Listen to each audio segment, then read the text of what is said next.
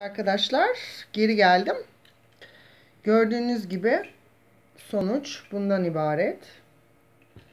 Seller var. Tabi bu ıslak hali. Umarım kuruyunca çatlamalar e, ve bozulmalar olmaz. E, evet farklı teknikleri de denedim. Çünkü bu tamamıyla kendim için yaptığım küçük bir denemeydi. E, gördüm ki aslında çok güzel bir kırmızı kullanmıştım. Şu aralarda gözüküyor. E, ve gayet de çoktu ama e, boyalar tabi birbirini kapattı. E, şu köşelerde bu köşelerde gördüğünüz gibi değişik bir teknik kullandım. Şu çubuğumla böyle üstten e, hafifçe çektim.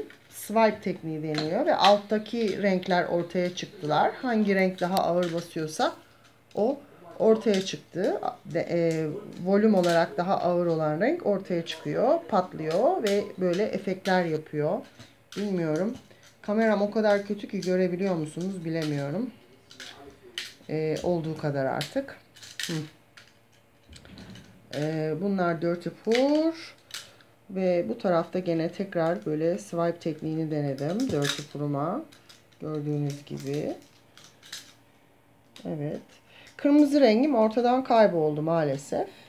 Keşke birazcık kırmızı renkten kalsaydı bardağımda. O zaman tekrardan dökerdim. Şu tarafta kırmızı oldu. Evet fazla renk kullanmamak bence çok daha iyi oluyor. Ee, onu öğrenmiş bulundum. Çok fazla renk karıştırmaya gerek yok. Aslında en fazla 3 renk olsa yeterli bence. Ee, ama Evet çok e, mutluyum çünkü benim de sellerim oldu. evet. Görüşmek üzere.